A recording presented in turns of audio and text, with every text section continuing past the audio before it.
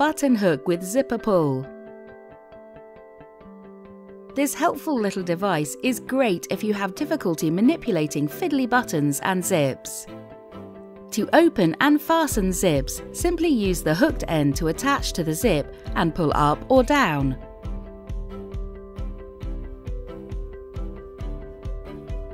To open and fasten buttons, hook the button onto the looped metal end and pull it through the button hole. The chunky black handle is textured and easy to grip.